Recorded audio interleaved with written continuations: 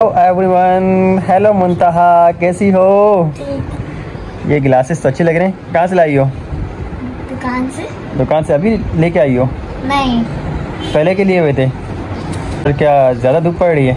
नहीं स्कूल से आ रही थी ना तब तो स्कूल का यूनिफॉर्म दिखाओ। ज़रा पीछे पीछे हो? खड़ी हो ना? अच्छा अच्छी लग रही हो। यूनिफॉर्म अच्छा है आपका। तो मुंता अभी स्कूल से आ रही है पढ़ के।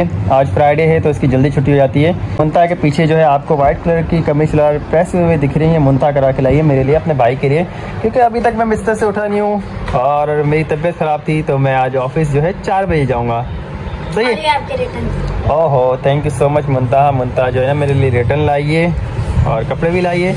तो अभी मैं रेडी होऊँगा नमाज़ पढ़ने जाऊँगा और नमाज़ पढ़ के आऊँगा तो फिर मुंता चलेंगे। कहाँ? कहाँ? मैं तो मदरसे होंगी फिर ट्यूशन जाऊँगी। मतलब से कितने बजे जाना है? दो बजे। ठीक है वन थर्टी पे नमाज़ होगी। अभी क्या टाइम हो रहा है? अभी टाइम हो रहा है वन टेन ट्वेंटी मिनट से मैं वन थर्टी पे नमाज़ पढ़ के आऊँगा। सही है वन थर्टी पे नमाज़ पढ़ के आऊँगा। उसके बाद जो है हमने जाना है आज फ्राइडे वाला दिन है तो बिरयानी तो बनती है ना। तो अभी जो है ना मैं और मुंतहा में नमाज़ पढ़ के आऊँगा फिर चलेंगे बिरयानी खाने। फिर जल्दी आना। फिर मैं जल्दी आऊँगा बिरयानी खा के आपको मदर से ड्रॉप कर दूँगा, ठीक है? तो गाइज़ अभी मैं लगा हूँ फ्रेश होने। जुम्मे का दिन है, जुम्मे का बाबर का दिन है। आप सबसे दुआओं की दरख्वास्त है। जो भी डेली की रूटीन होगी, वो मैं आपके साथ शेयर करूँगा। ठीक है ना, मुंता? ओके और मैं हो गया हूँ रेडी नमाज़ के लिए। और तो चलें, अभी मैं जा रहा हूँ नमाज़ के लिए। और फिर मैंने नमाज़ के बाद लंच करना है। लंच के बाद मैंने चार बजे ऑफ़िस जाना है। तो इस वक्त बजे दो बज के पच्चीस मिनट और मैं मुंता के साथ बिरयानी खाने। जैसा कि हमने कहा था कि हम नमाज़ के बाद जाएँगे बिरयानी खाने। बिरयानी आ गई है और अभी मैं मुंता बिरयानी खाएँगे। मुंता ने जाना है दो पैंतालीस से मदरसे। और हमने बिरयानी खा ली। अब हम जाएँगे। कर रहे हैं। और अब हम जा रहे हैं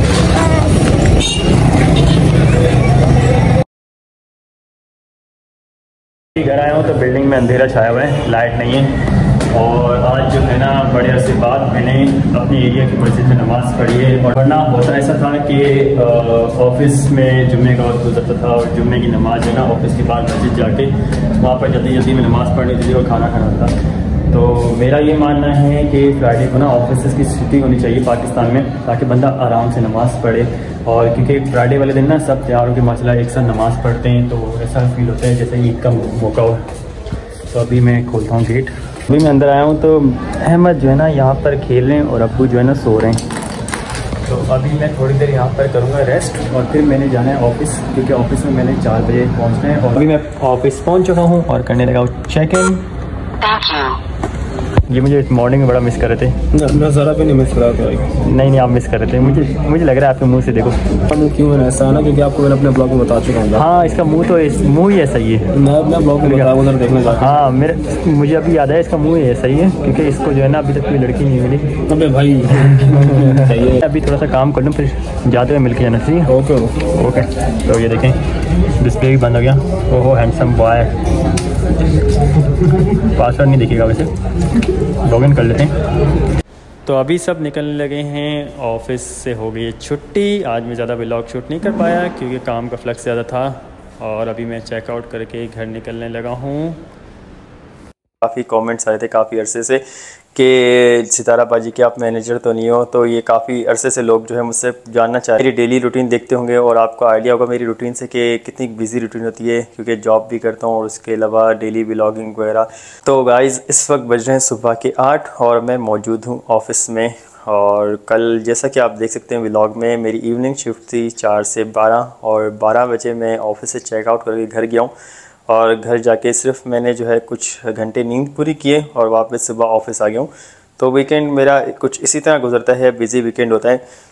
और अभी जो है मैं अपना व्लॉग एंड करने लगा हूँ और व्लॉग एंड करने से पहले मैं कुछ चीज़ें क्लियर करना चाहता था क्योंकि तो मैं सितारा बाजी का ना मैनेजर हूँ, ना मैं उनका अकाउंट मैनेज कर रहा हूँ, बाकी उनका भाई ज़रूर हूँ। उनकी हेल्प आउट करता हूँ जब भी रिक्वायर्ड होती है, क्योंकि वो भी सबकी हेल्प आउट करती है इवन कि उन्होंने मेरी काफ़ी हेल्प आउट की है ड्यूरिंग इनिशियल डेज़ और अभी भी करती हैं, ऐसी बात नहीं है।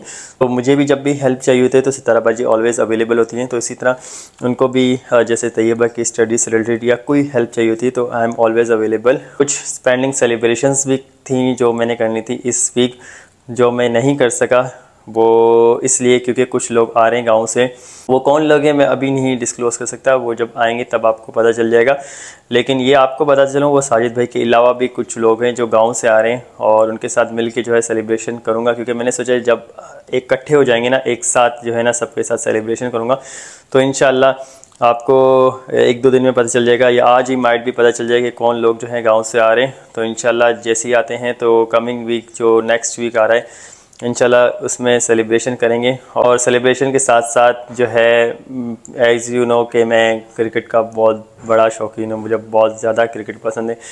तो वैसे नॉर्मली मेरी वीकली ऑफ़ जो है ना ऑफ़िस से ट्यूसडे होती है, लेकिन जो कमिंग वीक है, उसमें मैंने अपनी ऑफ़ जो है संडे को लिए और संडे को आपको पता है कि Pakistan versus India big clash match है, और उसके लिए जो है ना, मैंने दो हफ़्ते पहले ही ऑफ़िस में इन्फॉर्म कर दिया था कि मैं ट्वेंटी अक्टूबर को वीकली ऑफ़ करूँगा। तो वीकली ऑफ़ मेरी संडे को होगी। तो आपको मालूम होगा कि वर्ल्ड कप ऑस्ट्रेलिया में हो रहा है तो सुबह के टाइम जो है मैचेस होंगे। तो सुबह जैसे ट्वेंटी अक्टूबर को तो मेरी छुट्टी है, लेकिन जो है ना सेलिब्रेशन जो है ना शाम में कर सकते हैं, क्योंकि उस दिन जो है मैच भी इंजॉय कर लेंगे। और अगर मैच पाकिस्तान जीत गया तो तीन सेलिब्रेशन हो जाएँगी इस तरह से। यही कोशिश करता हूँ कि पॉजिटिव कंटेंट्स बनाऊँ और जो मैसेजेस आपके आते हैं, उसको जो अगर जैसे ज़्यादातर मैसेजेस अगर किसी एक ही टॉपिक पे हों तो मैं कोशिश करता हूँ अपने व्लॉग में जो है आके क्लियर कर दूँ। तो आज के ब्लॉग में यही क्लियर करना था कि मैं सितारा बाजी का कोई अकाउंट मैनेज नहीं कर ना मैं उनका मैनेजर हूँ, बस उनका छोटा भाई हूँ। और सेलिब्रेशन से रिलेटेड भी मैं आपको इन्फॉर्म करना चाह रहा था कि सेलिब्रेशन इंशाल्लाह coming week Sunday twenty third October को पाकिस्तान का मैच भी इंजॉय करेंगे और सेलिब्रेशन भी करेंगे। तो अभी इसी के साथ मैं करता हूँ आज का ब्लॉग एंड उम्मीद है आपको पसंद आया होगा और अगर आपको पसंद आए तो मेरी वीडियो लाइक चैनल सब्सक्राइब और शेयर भी ज़रूर कीजिएगा। तो इंशाल्लाह आप सबसे मुलाकात होगी मेरे नेक्स्ट ब्लॉग में। तब तक के लिए अपना बहुत ज़्यादा ख्याल रखिएगा और मुझे भी अपनी दुआओं में याद रखिएगा। अल्लाह हाफिज़।